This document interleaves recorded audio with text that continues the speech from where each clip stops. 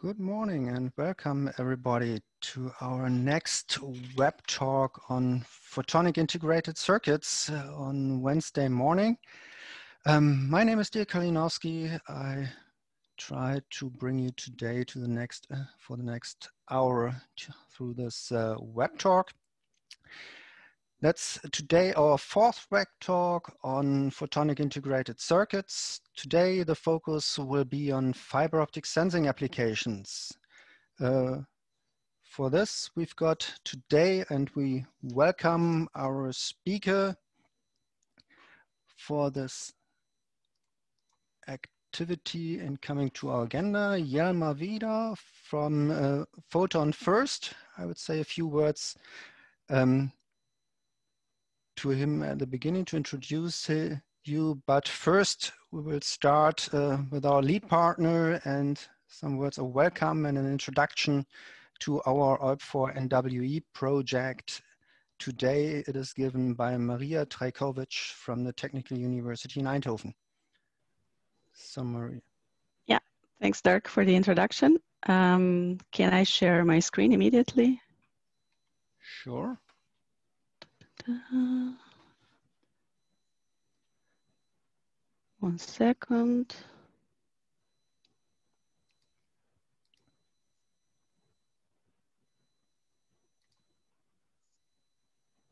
Yeah, looks yeah. good. Well, let me briefly um, guide you through um, to this project, OIP for NWE.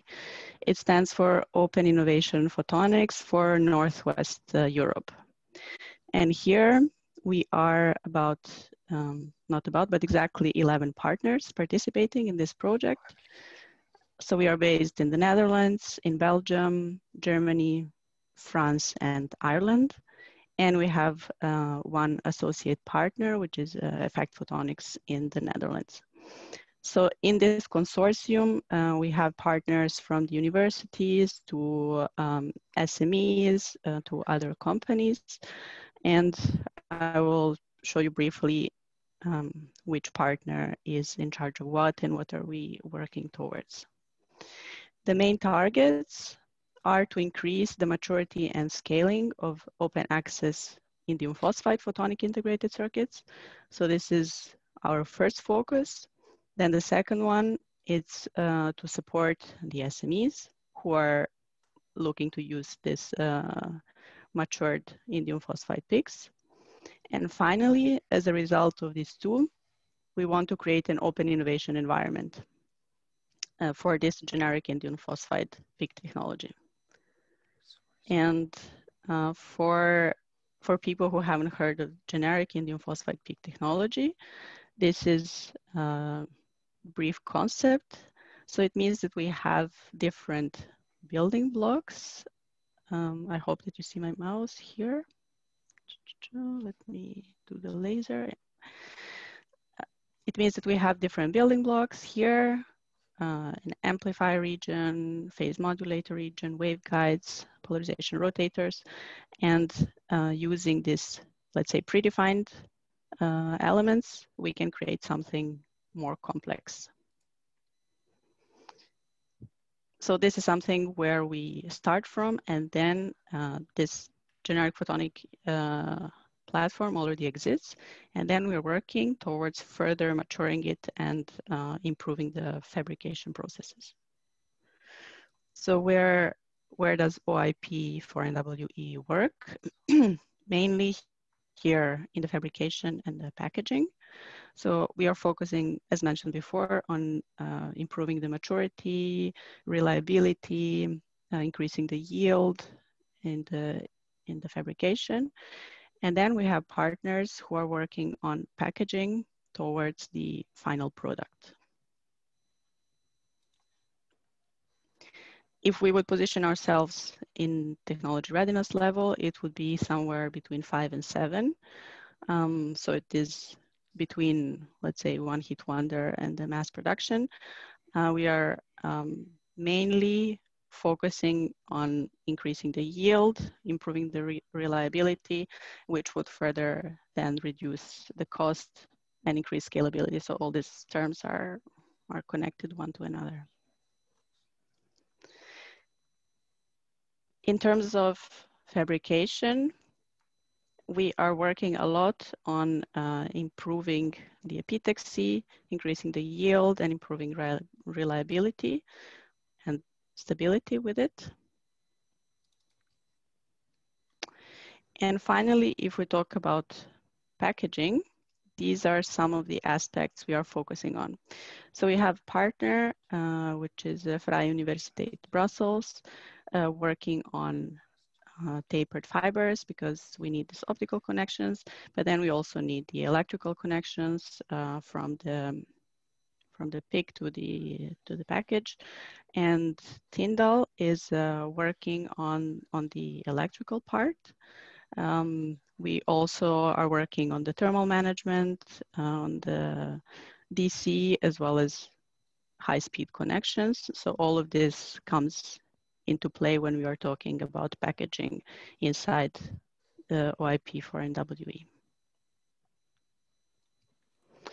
And finally, something which is uh, interesting for SMEs is the Innovation Support Fund we have here in this project. Um, maybe you have attended some of the previous webinars, so you, you already know what this is about. But if you don't, um, this means that we have a voucher scheme, which is offered to SMEs who have previously experimented uh, and have a design um, in indium phosphide PICs. And then we offer a full chain. So we have Smart Photonics who will do the fabrication of PICs once you come with your design. Then we have, we have uh, VUB, who is in charge of external optics design, and we have Tyndall, who is in charge of packaging. So this means that if you uh, would like to gain access to this uh, open, uh, open access pilot line, you can do so. You can apply for this uh, voucher. And if you have a previous design, you can compare it uh, with this one from the pilot line and um, yeah, make you make use of this uh, of this offer, which is already there. But there will be a bit more talk afterwards about this in more details. So yeah, uh, I will end here and then give the word to, back to Dirk.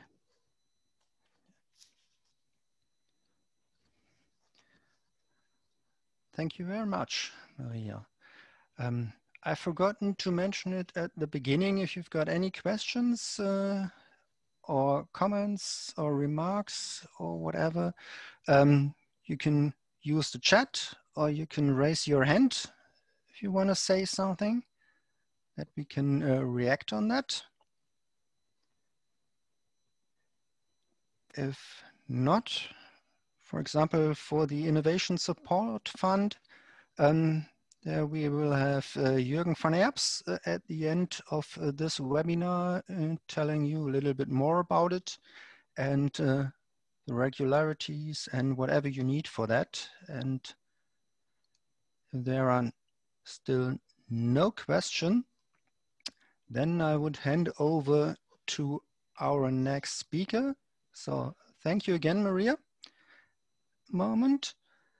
And let me start here with this screen.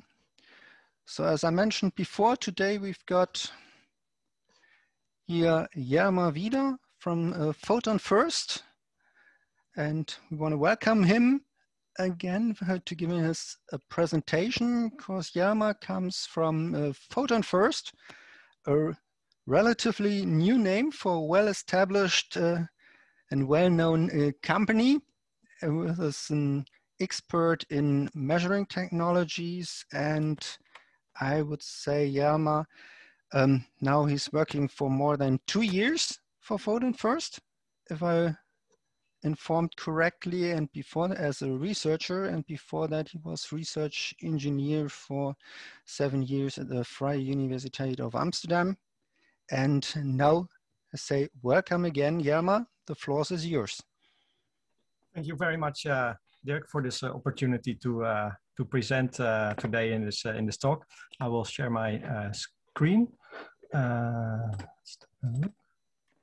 hopefully every you can see everything right now. Everything is fine. Yeah, great. Uh, screen. So yes, um, well, my name is uh, Jelmer. In, uh, indeed, uh, I'm researcher at uh, at uh, Photon uh, First, and we we measure with light. we measure the world, and we measure the world with light. I'm going to tell a little bit how we, we do that today, but let me first tell a little bit more about our our company. In 2006, our founder, uh, our visionary uh, founder, Pim, Pim Kat, started uh, photonics activities in in Technobis. Um, so the he, he invested in in a, in a first research branch of uh, fiber optic uh, sensing. Uh, and, and, our first system was developed in 2006, and this consists out of free space optics, so very bulky optics. We had big lenses, we have a grating, we have camera, um, and then uh, we, we have the first systems uh, made and, and developed. And then uh, just after two years, uh, Pim saw uh, the light of integrated photonics. So uh, Pim, Pim, Pim went to investing into integrated photonics. Um, so this is a great advantage to, to go to integrated photonics. You can make your systems quite smaller. Um, and that's what we, we are doing since 2008. Uh, so ever since 2008, uh, uh, he has invested uh, a lot of resource, a lot of, lot of resources in in development of these products for the aerospace, medical markets, automotive, energy infrastructure, and high tech markets. Um, in, in 1st of January from this year, we, we split from our sister company, which is Technobis. Uh, so we now proceed as uh, PhotonFirst, and uh, we have a very diverse team of 36 uh, people, uh, mostly high, high, highly educated, and we have a very diverse team um, uh, working on, on, on, the technology. so we do that from our headquarters in, in Alkmaar. In Alkmaar, we have our research facilities and also our production facilities.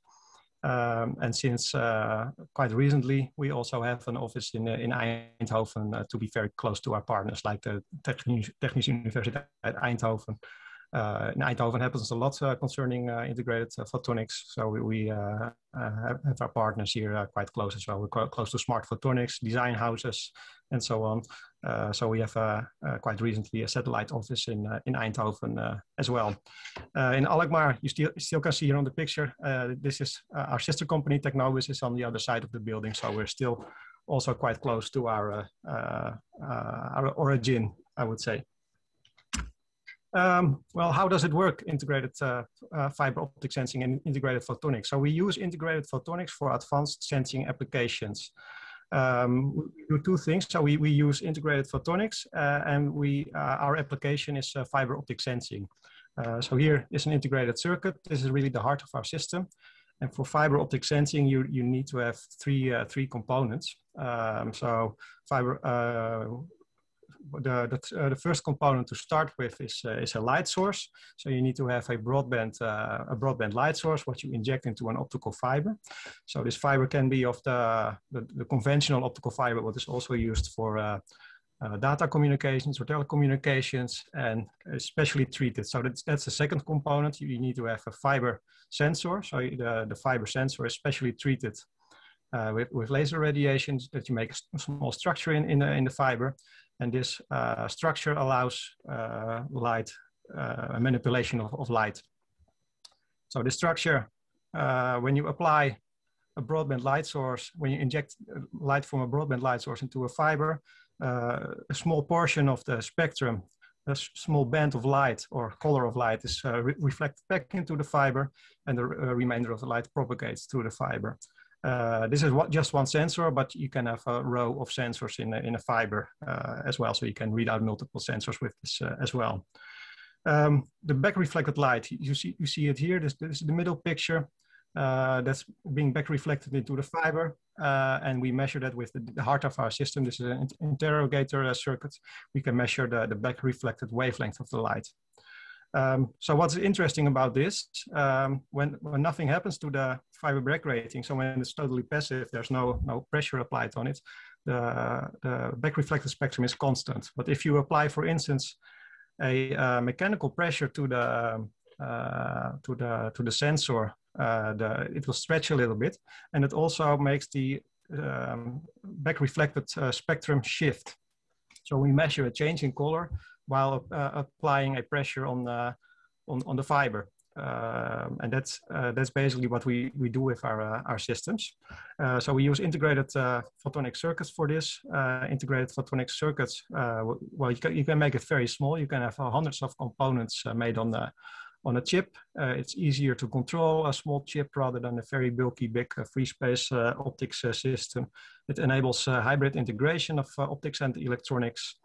And it's a low power application as well. Uh, fiber sensing, the application itself is um, uh, it's a small size, so that optical fibers are, are just about uh, uh four times the size of a human hair, for instance, uh, 250 micrometers in diameter if you take into account the coating. Uh, it can handle a great deal of um, chemicals. It's chemically inert. It's it's quite safe to use. Um, it's non non-conductive as well, so you can use it in a highly um, high energy fields as well for for for uh, for instance, high voltage fields or high magnetic fields or high RF fields as well. So it's quite immune to that uh, as well. Also, uh, optical fibers are very transparent, so you uh, you can uh, have a very long optical fiber and you, you can measure very remotely. The losses are extremely low. Um, so you, can have a sensor very far away from your system and, still do a very good uh, measurement because the, the, the, optical properties of the fiber are, are such that, that the losses are extremely uh, low. Um, with these uh, fiber Bragg uh, uh, gratings, we, we measure strain, temperature, and pressure. So by, by far most the most dominant effect is, is um, mechanical effects on on the fiber Bragg uh, sensor. Uh, so we can measure strain, so we can measure measure shape deformation, we can me measure shape of, uh, of, of products, we can measure impact, for instance. Uh, and that's the mechanical effect on a fiber uh, grating. Um, besides the mechanical effect, we can also measure temperature. We can measure um, uh, Kelvin, uh, millikelvin resolution uh, with our uh, fiber uh, gratings as well. We have some applications for this as well. Uh, we have medical applications where we monitor um, cancer treatment. we monitor the temperature during cancer treatment in, in patients. and also the, the fiber Bragg gratings are uh, sensitive to, to pressure. Uh, we, can uh, measure pressure very with a very high resolution as well. Um, our ambition is to lead uh, innovation towards the, the, future of sensing. So this is uh, where we all started in 2006. This is a free space optic systems. Just after two years, we went to the photonic integrated uh, circuit systems. we have the Gator series uh, of systems in, uh, in the, over the last decade.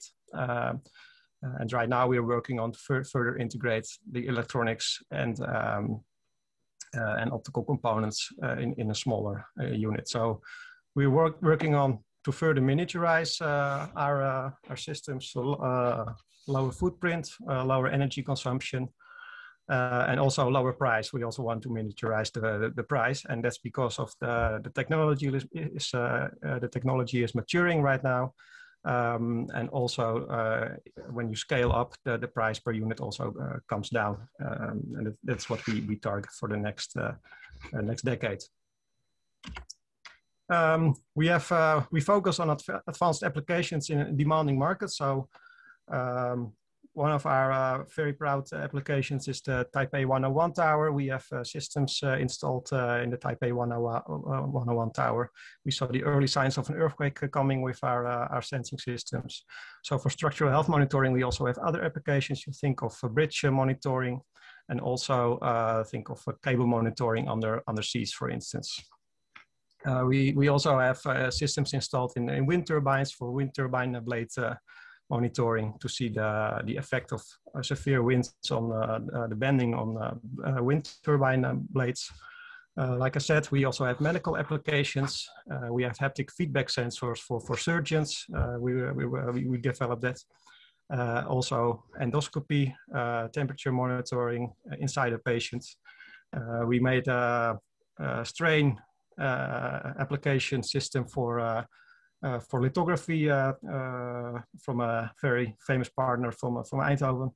Um, and we um, also uh, aim on the automotive industry and then, think of crash testing, uh, but also luxury uh, yachts. Um, also for the uh, aerospace industry, uh, we have a very ambitious uh, project where we monitor the, the temperature the, in aircraft wing during the, the flight. this is one of our very uh, applications what we're very proud of. So uh, on our website, we, we have some, uh, some success stories uh, about uh, this as well, but also the other stories. So take a look on, on our website to, to read the full uh, success story. For aerospace, we also Uh, have applications where, uh, where we can measure bird strike. So bird strike is the effect of while an airplane is, is taking off, uh, a bird hits the, the, the wing, uh, and we also have monitoring systems to, uh, uh, to measure bird strike. Also the, the landing gear of, of airplane, they do get a lot of aggression during the landing. So we also have a monitoring system for the, for the landing gear system for, for, for airplane as well. Um, since we uh, we have all uh, this this facilities, so uh, we make this, the systems for, for sensing. Uh, so we, we, we have uh, a lot of know-how and a lot of equipment uh, to, to make photonic integrated sy systems. So besides the sensing systems we sell to our customers, we also offer packaging solutions. So packaging is the process of um, making electrical and optical connections to the chip to the outside world.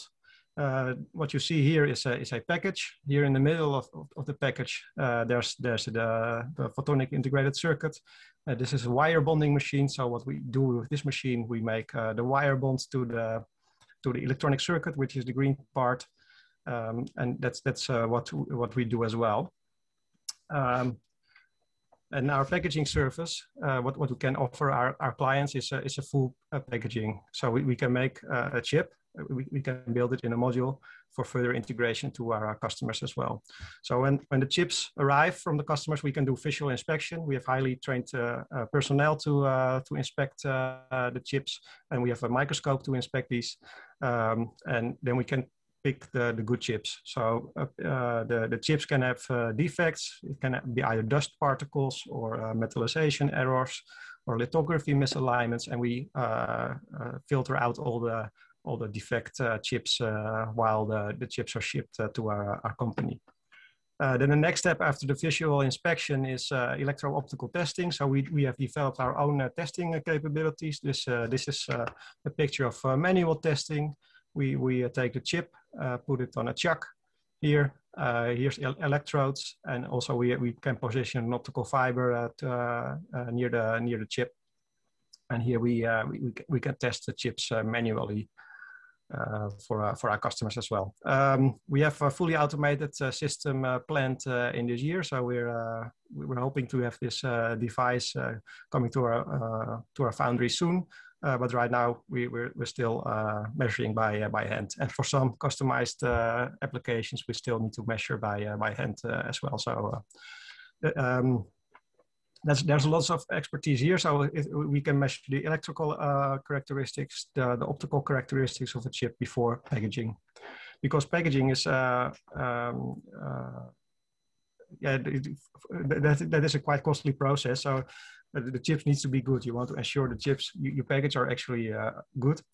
Uh, and the next step in the, in the, in the process um, is, is die bonding. So die bonding is, is, is the process of picking a chip uh, putting it on a temperature control uh, module inside a, a, package, the package housing. Uh, so th that's what we, we do here. So this is the first step where the, the chip has, will be picked from the box and will be glued to the, to the temperature control unit in, in the housing. That's the die bonding. that's the first step in the, in the packaging process. Uh, we have a, automatic wire bonder as well. That's the next uh, step. We make the electrical connections to the outside the world. So we, we can make pull uh, gold wires uh, from, uh, from, from bond pads uh, of, of, the, of the PIC here. Um, but we also can do it this manually, what you have seen in the slide before. This is where you make the electrical connections. And the next step in the, in the manufacturing process is making the, the optical connections uh, to the to the chip. For that, we have the, the fiber uh, aligner, the semi-automatic uh, fiber aligner, and here we solder a laser weld, an optical fiber to the package, uh, which uh, makes the, the, the, optical connection to the chip to the outside world. And then the next step is closing the package. And uh, we, we can also test the, the packaged chip, which is made and calibrate this before shipping, shipping this to our customer or further integrate this into uh, to a system. Um, I would like to acknowledge uh, Interreg for, and thank for uh, being the uh, uh, for participation in the validation program for OIP. Um, we, we are a, a, validation partner, which means we are an early customer of the, the OIP pilot line. Uh, and uh, this will, by the end of the project, result in a demonstrator system we're, uh, we're developing. Um, well, that, that brings me to to the end of my uh, presentation. So uh, thank you very much uh, for uh, for listening, uh, and uh, yeah, feel free to to ask me ask me everything. then I would like to bring back the the work the word back to Dirk. Thank you. Thank you, Jelmer. First question. Someone who wants to talk. yes. Reinhard Zwickel speaking here. I would have a question concerning the the reduction of the cost. So you showed that the cost of the entire system goes down with an increased miniaturization, um, but also the cost of the of the sensor went down. And is the sensor basically the fiber? And and and why does the, the, the cost of the sensor goes down with the miniaturization? Uh, thank you for your uh, question. Um, let me go back to the yeah exactly this one to the slide uh, here um yeah the um, the, the, the, the fiber sensor itself uh, it's also a uh a thing uh, what what needs further maturing i think i think this technology also needs to uh, to, to, scale up uh, so uh, that's what what's uh, where, where a lot of work is uh, being performed uh, on the, right now is that to, to uh, also maturing this this technology even further. So when this technology becomes cheaper, when, when, there's more more demand for this this technology, the, the, the cost of per sensor also will go go down. Okay, I see. Thank you. Mm -hmm. Thank you, Mr. Zwickel. Yes, Mr. Maher. Maher, is it right? yeah, yeah, yeah. Yeah, thank you. Um, I'd like to ask, uh, what's the difference between uh, MEMS pressure sensors and and your sensors? Uh, thank you uh, for your for your question. Uh, your, your, question is what is the difference between a MEMS uh, sensor and a fiber Bragg grating sensor? Is that correct? Yeah, yeah. Um, then I'll go back to the to the slide here. Um, so the, the fiber uh, grating sensor, this is, uh, uh, this is written in, inside the fiber. So the difference between a MEMS sensor is that you alter, alternate the fiber tip and you make a small structure on this. Uh, so what is different about the fiber Bragg sensor is that uh, uh, the, the, fiber itself will not change. This is an inline sensor, what we, we have here. So the, the light's propagating. So you, you just have a fiber and um, you can write, write, a, write a sensor uh, with, with a laser uh, interference uh, technology. Uh, you, you can write a sensor in this, this fiber. So you can make, you can write a structure. Uh, so what, what you do with the, the, the laser lithography for, for fiber Bragg sensors is that you, um, um, you, you change the refractive index profile uh, here. Uh, and that, that is the big uh, uh, big difference is you have an inline sensor rather than, than uh, a MEMS sensor on the tip of, uh, of a fiber.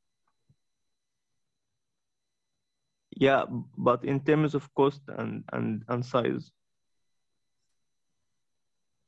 Um, in terms of cost, I, I cannot uh, not say too much about it. I, I think I, I, I don't know the answer. Um, uh, but in size, I think the, the size uh, would, would be comparable. Uh, but it, it's the um, the yeah, the technology what is what is different. I would say.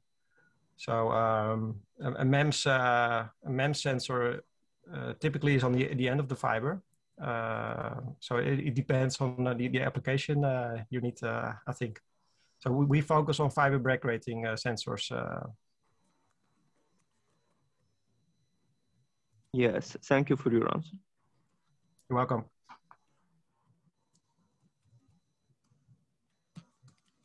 Another question? I can't see it in the chat, so no one. Ah, that's from Heiner Zwickel again, a question. Uh, do you also consider sensors that are directly integrated in the um, rather than in a fiber?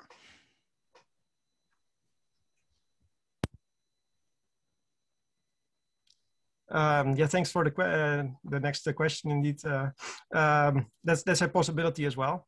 Indeed, uh, that's uh, that's that's probably all I can say about uh, about this uh, this question.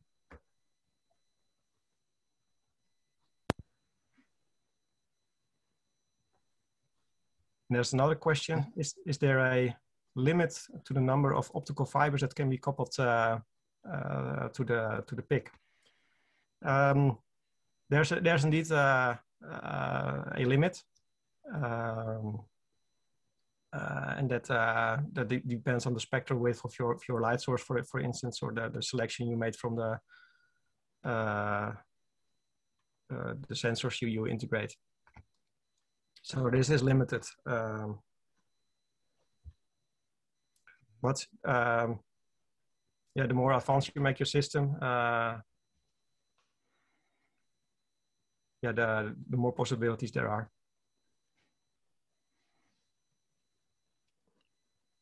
The larger the chip is. Yeah, yeah. Uh, could be. Um,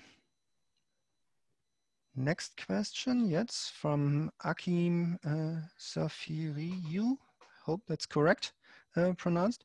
How do you manage to distinguish uh, between the measurements due to temperature and strain, considering FBG tends uh, uh, to response to both similarities, uh, similarly? Sorry. Yeah, thank you. That's a, that's a very good uh, question indeed. Um, yeah, we, we can uh, distinguish uh, uh, that as well. So that, that makes the system more, more complex as well. So the data processing. Uh, but there is uh, there are ways to distinguish between strain, temperature, and and pressure. there are ways to to to measure that. So we, we can see that in a difference in response.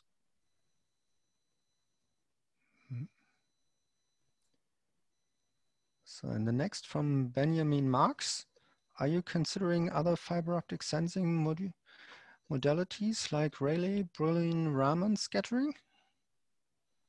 Uh, thank you for the, the, question. It's also a very technical uh, question, uh, indeed. Um, uh, well, we, we focus on, on fiber optic uh, sensing. So the, the, the, products we, put on the, the market and help our customers uh, with are these are these, these fiber uh, um, Bragg grating sensors currently right now.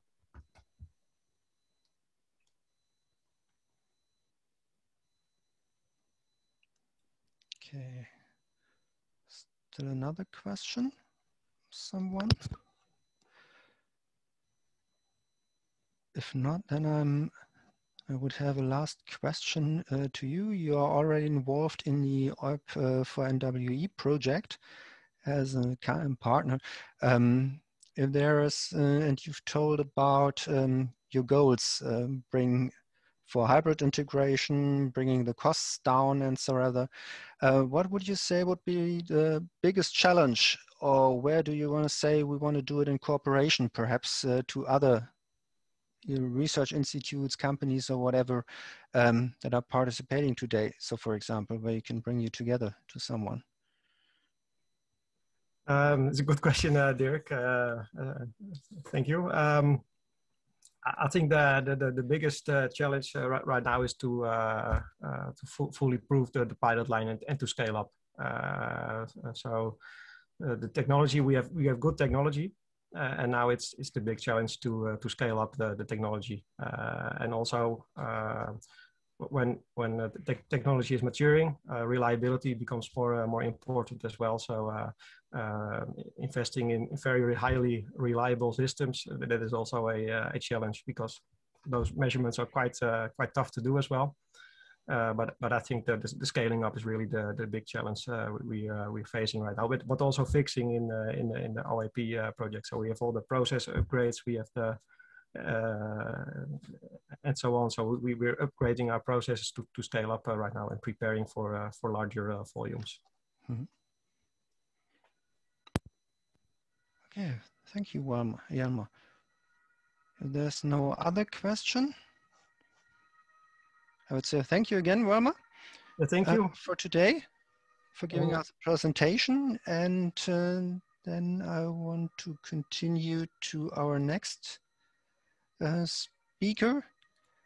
That's uh, mentioned before, that will be Jürgen van Erps uh, from the Vrije Universiteit uh, in Brussels, and he will tell you a little bit more about the details of our Innovation Support Fund if you are interested in PICs and the production of PICs in a pilot line.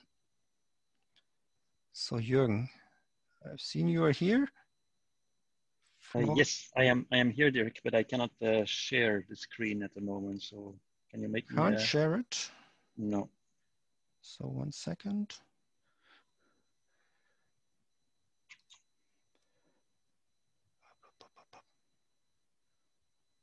Where are Interesting.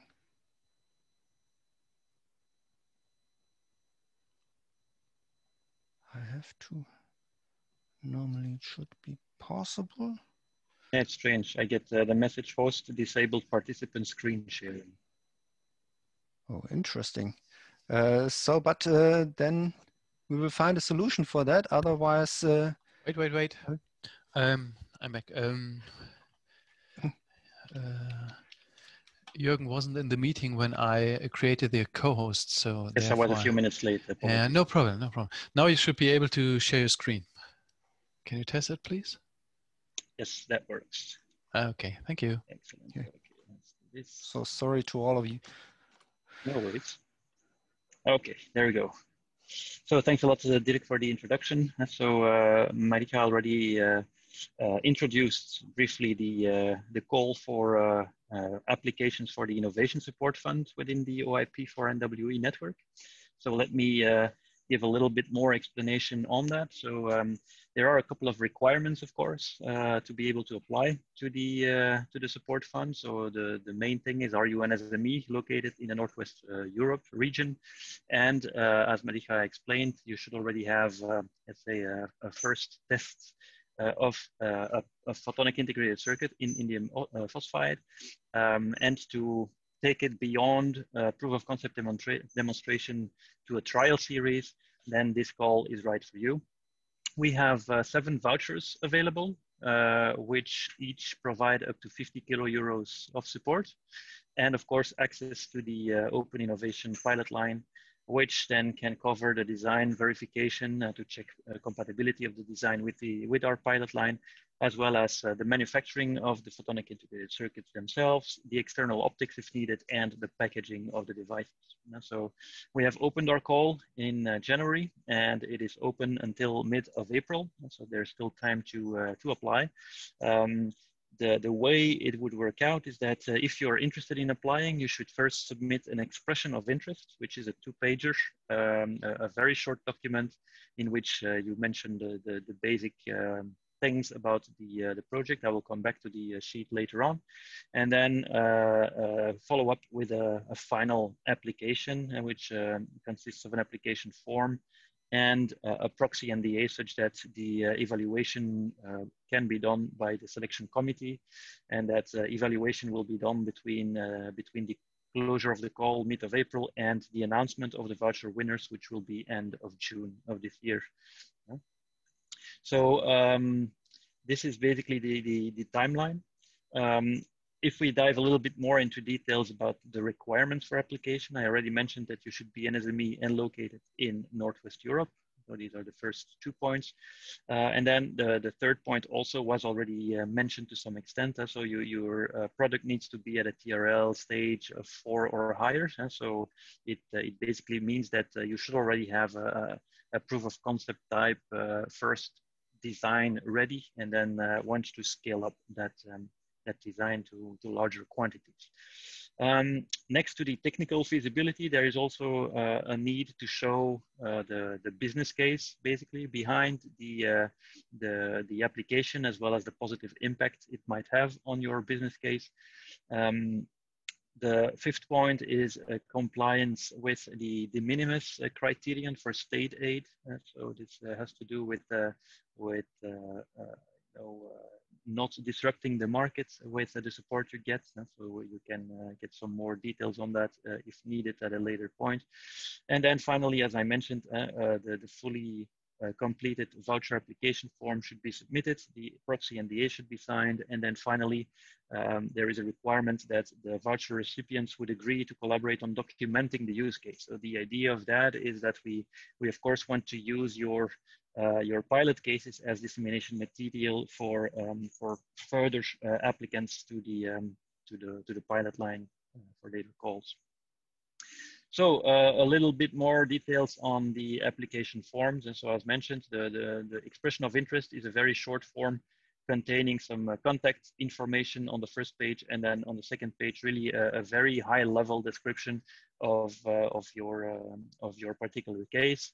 And the final uh, application form is a little bit longer, but also uh, very concise. There's not, uh, not too much administration involved here. So again, if we go uh, through this document in a little bit more detail, first page is, uh, is a couple of uh, information on, on the company and contact details.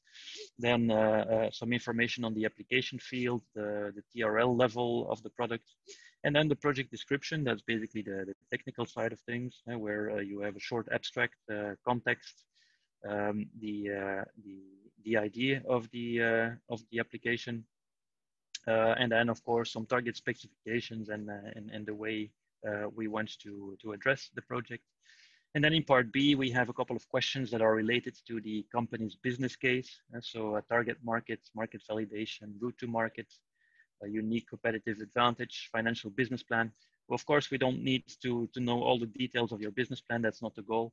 But the idea is to, to be able to evaluate also the potential impact on, uh, on the business side. So finally, the, uh, the table on the last page of the uh, voucher application form is, uh, is an important one uh, where um, you show that uh, this, this innovation could either lead to new revenues or to new, new jobs um, at your um, at your company. Uh, so uh, that's a kind of prediction of uh, of the impact on the financial side for you. And then finally, the selection criteria. So if you uh, submit such an uh, application form, the uh, selection committee will look at the following aspects when when evaluating your proposal. The first one will be the innovative character of the project. So um, to, to, to check whether um, whether the, the, the the, the project has, a, has technical innovation capability. Then the uh, second point is the technical feasibility. So basically is the, is the proposed uh, work plan compatible with uh, with the pilot line? Uh, do we adhere to the to the required TRL levels? Uh, how do uh, how do we look at the interfacing of the PIC with the outside world, and so on and so forth? So also again on the technical level. And then there's two uh, criteria that have a, a higher weight. Uh, so the credibility and level of commitment of the company. Uh, so um, there is a, a, a partial financial uh, commitment uh, because there is actually a co-financing requirement. And so of 20% up to the, uh, the maximum support of, of 50 kilo euro. And if the, the project size needs to be larger than 50K, it's possible, but above 50K, the commitment, let's say the financial contribution of the company needs to be 100%. Um, and finally, the added value on the business case and potential impact that has to do with uh, with the questions that we just looked at uh, in terms of uh, of uh, uh, uh, target market validation plan, route to market, value proposition, and the, the, increasing revenues or new jobs that can be created as a result of the project. So these are the, the main evaluation criteria. each criterion should be scoring at least two and a half out of five and the total score should be at least uh, 20 out of 30. so um, that's the, the threshold for, um, for granting the, uh, the application. So that's it in, uh, in brief. So if you have any more questions, feel free to ask. And otherwise, uh, you find more information uh, on the website. And if you're uh, interested in applying, send us an email at voucher at oip4nwe.eu. thanks a lot. Thank you, Jürgen. There already a question on that? that? If not, you can read it on our website and the link is uh, on uh, the slide, oip4nwe.eu. You can go to vouchers and you can read all the details and you can download the files Jürgen uh, mentioned. Um, and as he told you, you've got time to the mid of uh, April to send us your proposal. If you've got any question or only an idea, um, you say, I'm not quite sure whether it could be possible to do it or whether it is good to um, try to um, participate in that. Um, don't hesitate uh, to contact Jürgen. He can give you an answer to that and he can help you to bring you through this uh, proposal. So if there are no other question, um, then I have to say thank you again to our speakers for today. Thank you again uh, to you for participating today. And last words I can only say, if you are working in the PIC field uh, from the participants and you're interested in, in presenting your technolo technological activities there, don't hesitate to contact us. Perhaps we can uh, show it to do this uh, at one of the next uh, webinars uh, here. And for today, I can only say we wish you a successful day and happy Easter. And we will see us after Easter again to the next uh, web talk. And the last words only, stay healthy no matter what you do. So Very much. Have a nice day. Have a nice day. Bye-bye. You too. Bye-bye. Bye-bye. Have a nice day.